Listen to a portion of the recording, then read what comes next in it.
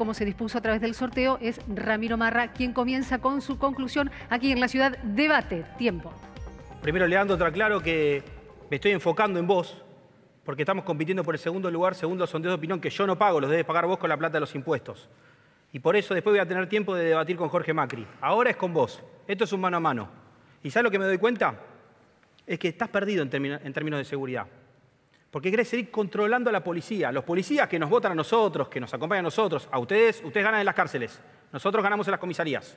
Esos policías me dicen que quieren laburar y que gente como vos los quiere controlar. Yo estoy a favor de las taser. No sé cuál es el problema con las taser. Es más, estoy a favor de otras armas no letales que también hay que incorporar. Porque si hay algo que hay que darle al personal de seguridad, aparte de mejores salarios, es equipamiento y capacitación y libertad de acción. También, por supuesto, sumar la tecnología que se está aplicando en otras partes del mundo. Es fácil esto. Nosotros vamos a hacer una cárcel. ¿Sabes por qué? Porque están llenas las cárceles y todavía hay más gente para meter presos. Nosotros con eso no tenemos miedo. Es el tiempo para sus